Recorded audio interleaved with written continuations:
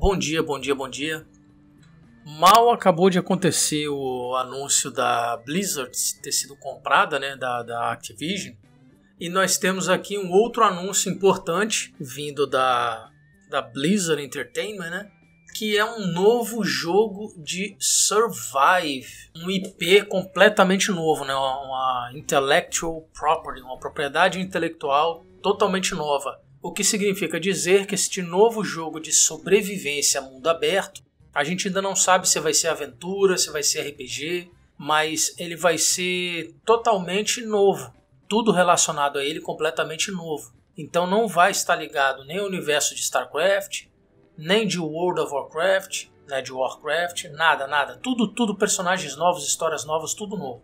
E é só isso que nós sabemos por enquanto. A Blizzard está recrutando profissionais de várias áreas: modelagem 3D, é, escritores, programadores, designers e uma série de profissionais de desenvolvimento de jogos para esse novo jogo totalmente diferente do que tudo que a Blizzard já fez até hoje, em termos de propriedade intelectual, né? Que a Blizzard ela meio que seguia aquele aquela aquelas histórias que ela já estava confortável, já se sentia confortável em contar pra gente através dos jogos dela. E tem esse essa arte conceitual aí, ó. Na verdade tem duas artes conceituais, eu peguei essa. Eu peguei essa aí que eu estou mostrando para vocês. Uma bicicleta, dois, me parecem dois adolescentes, uma, a menina com a mochila nas costas e de repente um mundo, vocês podem olhar que tem um lado é tipo uma é como se fosse uma descida, né, um declive. Lá em cima tem a cidade normalmente, né, do jeito que a cidade moderna como a gente conhece. Eles encontram esse entre aspas portal, essa entrada aí para o universo paralelo, a realidade paralela. E vocês veem lá um castelo, um mundo de fantasia completamente diferente de tudo. Honestamente, a arte conceitual é interessante o suficiente para prender a atenção e a curiosidade. Mas lembrando que isso é uma arte conceitual e é uma vontade que a Blizzard tem de trabalhar no próximo jogo. Lembrando, não tem nada a ver com WoW, não tem nada a ver com StarCraft, não tem nada a ver com Diablo, não tem nada a ver com nada que a Blizzard criou até hoje.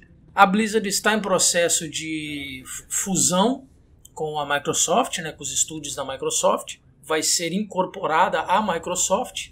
Então, é, nós estamos olhando aí um, um game para 2028, 29, por aí.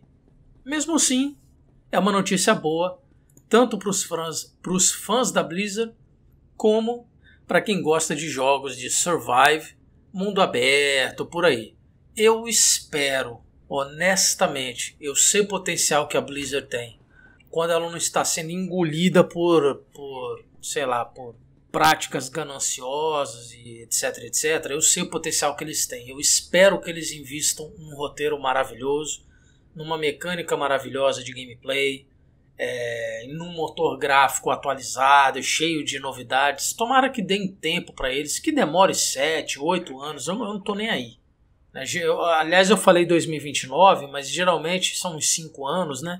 Acho que pode botar um a mais por conta dessa questão da fusão que está tendo da, das empresas, então vamos botar aí 6 anos, 2028. Mas eu espero que eles demorem o tempo que demora, que for necessário para entregar um jogo incrível para gente. E a segunda notícia muito importante, talvez a mais importante de hoje, é que a Electronic Arts, infelizmente, é a detentora dos direitos de Star Wars. Embora os outros, os últimos dois jogos que eles fizeram no universo Star Wars tenham sido muito bons, né? O Fallen Order e o, Squa Squadrons.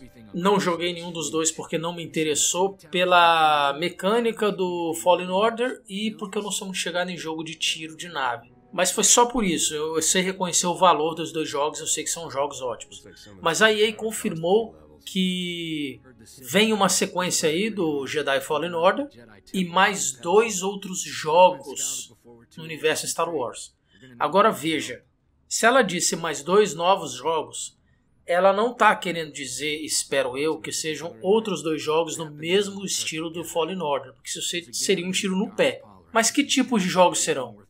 Serão MMOs? Serão jogos de RPG, de aventura gráfica? Serão que tipo de jogos? Vamos lá. Primeira coisa que eu tenho que falar com vocês é o seguinte: o estúdio que está por trás do Fallen Order é o mesmo estúdio que fez o Apex Legends ou Apex Legends, que é um jogo de tiro muito que teve uma crítica assim muito positiva, muito bem recebido por várias pessoas, vários jogadores no mundo, né?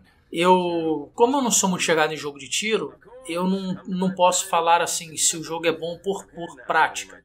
Eu só posso repetir aquilo que eu li. E muitas pessoas dizem que o Apex Legends é muito bom. E também é o mesmo estúdio que fez Titanfall. E quem vai estar tá trabalhando nos três jogos do Guerra nas Estrelas é justamente este estúdio. Tanto na sequência do Jedi Fallen Order, quanto nos outros dois. Os estúdio, o estúdio responsável pelos jogos Jedi Fallen Order, Apex Legends e Titanfall. Bom, o primeiro alerta surgiu aí, porque eu não gostei de Jedi Fallen Order. Repito, reconheço o valor do jogo, sei que é um bom jogo, mas eu não gostei. Eu não gosto daquela mecânica que eles escolheram. Aquele estilo de jogo não, não me agrada. Então, um estúdio que faz dois jogos de FPS e um jogo, digamos assim, similar em algumas características com o Dark Souls, e esse é o estúdio que vai estar responsável pelos próximos três jogos de Guerra nas Estrelas, esse é o primeiro alerta que, me, que subiu para mim. Talvez para muitas pessoas esta seja uma notícia maravilhosa. Mas vamos continuar aqui. Ao lado da sequência do Jedi Fallen Order, que é uma aventura ação, vai vir um FPS ainda sem nome no universo de Star Wars. Então o segundo jogo que eles vão fazer é um FPS de Star Wars. Aí vai todo mundo dizer: "Ah, deve ser o Battlefront 3". Não, a EA já disse que enterrou por enquanto o Battlefront. O primeiro foi um fiasco, o segundo não deu a resposta que eles queriam e eles enterraram. Simplesmente enterraram a ideia por enquanto. Vai vir um novo FPS de Star Wars. Dos três jogos que esse estúdio vai trabalhar, dois já não me interessam. Sobra o terceiro. Mas antes de eu falar do terceiro, quem é que vai comandar o FPS novo no Guerra nas Estrelas. O diretor de Medal of Honor, Above and Beyond. Se você jogou, jogou Medalha de Honra, não, Medal of Honor Above and Beyond, e você conhece aquele jogo, esse cara vai ser o diretor do novo FPS. Aí vem a terceira, o terceiro jogo, a revelação do terceiro jogo. E isso, senhoras e senhores, isso me animou demais. O terceiro jogo eles se uniram a um estúdio chamado Beat Reactor, que é simplesmente um estúdio especialista em fazer jogos de estratégia, real-time strategy e estratégia em tempo real. Beat Reactor é um estúdio recém-formado com veteranos da Firaxis. Simplesmente é o estúdio que fez a série XCOM. E esses caras, que eram, são veteranos do estúdio da Firaxis, formaram o Beat Reactor e agora vão trabalhar num novo jogo de estratégia em tempo real, só que do Guerra nas Estrelas. Isso aí, isso aí para mim foi a melhor notícia. A melhor notícia que eu vi vinda que saiu da EA na minha opinião em relação aos jogos de Star Wars. Eu não estou interessado na sequência do Jedi Fallen Order, a não ser que eles mudem alguma coisa na mecânica, fique mais agradável para mim, a não ser que eles mudem algumas configurações na mecânica do Jedi Fallen Order, mas isso, isso é uma coisa subjetiva para mim. Agora, um real-time strategy do Guerra nas Estrelas, imaginem um XCOM, imaginem um outro jogo aí de estratégia de tempo real, um StarCraft, um Warcraft, um Command and Conquer Red Alert, Company of Heroes, só que com Guerra nas Estrelas. Detalhe, eles disseram, eles disseram que o jogo de estratégia em tempo real deles vai ser diferente. Eles querem trazer novas mecânicas, eles querem inovar o gênero, eles querem dar uma revitalizada e querem fazer coisas que não foram feitas antes. Eles querem realmente ser inovadores no jogo de estratégia em tempo real deles. E eu confio nesses caras porque eles sabem o que eles estão fazendo.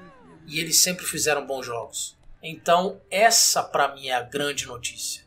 Um jogo de estratégia em tempo real do Guerra nas Estrelas. Finalmente um jogo do Guerra nas Estrelas que eu vou poder jogar, que me interessa. A não ser que os outros dois que eu falei aqui atrás acabem sendo tão bons que eu acabe querendo também, né? Deu uma chance para eles. Mas é isso. É isso que eu queria trazer para vocês de notícia hoje. Um videozinho rápido. Eu não sou muito de trazer notícias aqui no canal, mas eu vou procurar fazer isso porque já me pediram. Me pediram para trazer notícias de Cyberpunk e de The Witcher. Por enquanto eu não tenho notícias mais concretas, mais importantes, relevantes a respeito dessas essas duas franquias, mas eu vou começar a tentar trazer notícias aqui para vocês. Tranquilo? Por enquanto é isso, pessoal. Deus abençoe a todos. Uma ótima semana. Bom resto de noite para vocês que estão vendo isso à noite. E até o próximo vídeo.